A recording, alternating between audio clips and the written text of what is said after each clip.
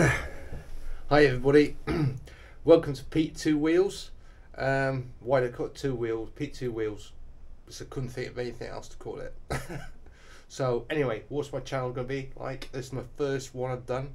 So yeah, forgive me. The editing is probably not going to be great, but anyway, let's move forward. What we're going to be talking about right now is what I just bought, which is a new 2023 Beta X Trainer. And yeah, I've only gotten 33 miles on it so far, and tomorrow is going to put it through its first test, which is a Valleys Extreme Enduro in South Wales.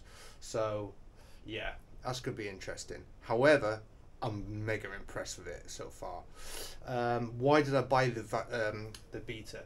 Well, we just did the uh, Sea to Sky uh, this year, and my KTM, which I'll be take you through all the um, modifications done that. It's 2018 TPI, and it was fantastic, no doubt about it. However, I just wanted something a bit more lighter, a bit more manageable, um, more torque. Sometimes less is more, yeah.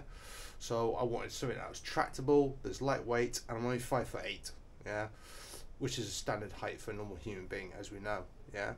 However, yeah, this thing is amazing. Yeah, it's classed as a beginner's bike. Yeah, beginners can ride it because it's so tractable, etc., etc.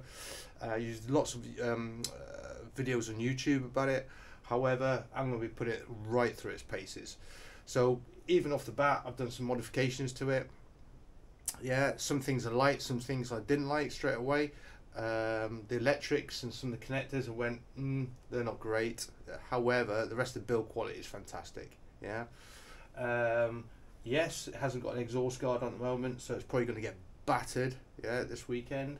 I'm probably going to go Motos uh, exhaust on it, um, which I've done on the KTM, which improves the torque, etc. But gives it a little top end more hit, etc. But we'll go into that in more detail. This is just an introduction. So who am I? I basically am 52 years of age. I started riding enduro at the age of 40. I've had about 77 motorbikes. Um, yeah, I went to ride enduro to take me off the road, like a lot, lot of guys do. However, still have my road bike, my little ZX7 there. However, enduro is my thing. I do love it. However, it's going to be gopping up at the Valleys Extreme. Um, we've seen the, I've seen some of the pictures already, and it looks horrendous. However, that's what I like to ride. You know, um, yeah, I like the technical stuff. Um, technical is um, what Graham Jarvis say. Got to learn to ride slow before you can ride fast. Yeah. And even Graham at Sea Sky, however, did mention my uh, Motos pipe. He said, "Where did you get that from?" I said, "Motos." Yeah. So uh, yeah, and I'll be taking through through some of the kit that they supply. Now, what's this channel all about? It's basically me as a hobby rider making mistakes, um, which we all have, yeah, and hopefully pass on that information so other people don't make them, yeah. Uh, also, some product reviews as well on some of the kit uh, from Motos. Sam uh, uh SMX, great guy. Um, he's down in the link. Uh, you'll see below. Um, he knows his onions. Okay, um, so he provides me with all the equipment. I'm not a sponsored rider at all, but he, I just go to him for all the kit, and he'll get me what's best on the market to do the job. Yeah, um, yeah. Sometimes it might be a little bit more expensive, but buy cheap, buy twice. Yeah. So anyway, as you can see, first and foremost, you might notice on this bike there's a wheelbarrow wheel in the front. That's my first modification. Not. Anyway, that's so I can get it in the VW Caddy. So if you've got a smaller van, a wheelbarrow wheel allows you to get into those smaller vans. Yeah. Um, the rest of the bike is pretty much all standard. Obviously, I put on the tugging strap on the front, uh, which came handy a couple of times in the um, Sea to Sky this year. Um, on there, and basically, when I build my bikes, it's all about protecting the bike because let's face it, guys, they got enough power as they are. Yeah. Um, obviously, on the KTM, we'll go through that on a later date. That's got the TPS mods, etc., um, etc. Et That's got a lot of mods on it, um, but it's built for me. Yeah, so it won't suit everybody else. Um, but this bike, low seat height, loads of torque, mapping switch on it. Yeah, yeah, it's got a small fuel tank. Yeah, we'll get away with that. Rad guards already on there.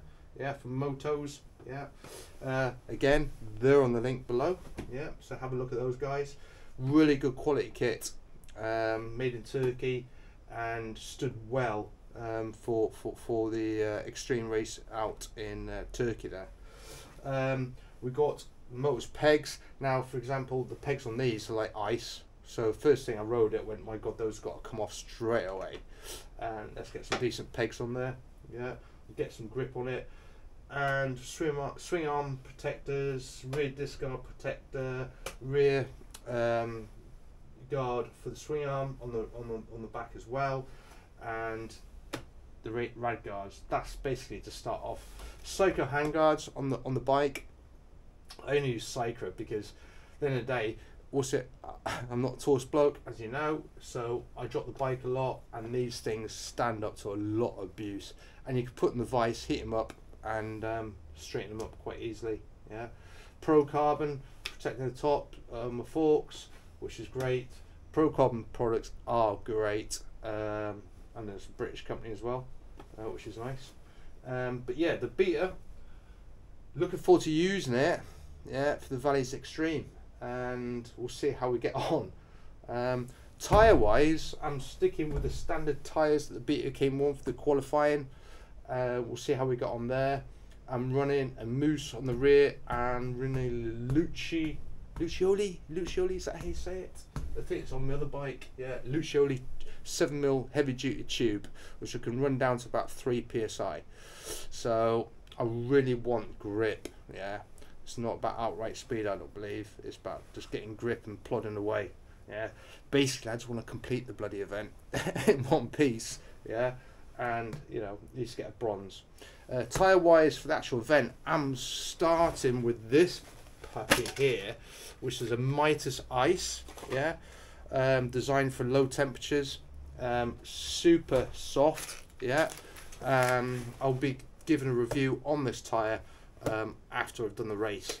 So I've used all types of tires, guys. I've used uh, Kenda, IBX, I've run Mitas, I've run all kinds of stuff basically to try and just get traction. So yeah, um, I'll just quickly pick this up here. Now, I said this for the first time, so not the best. So, quick look at the bike. Yeah, there's a KTM. Um, that, as I said, had a lot of mods done to it, and I'll be reviewing all the mods that has been done to that bike. Um, I said, I'll never sell it. It's built for me. It's it's great. Um, but the Beta this this thing rocks. Uh, I've changed handlebars because the original handlebars were like a, a set of um, ape bars from a uh, from a chopper. Um, I like a really low set of bars. You can see on the KTM. These are proper low. Um, I, I like a low bar. Um, so these are set of KTM bars. Bit gold here because they were bent to hell. So I've uh, readjusted them and put them back into shape. So I like a low bar on that. Um, apart from that, and like a nice bit of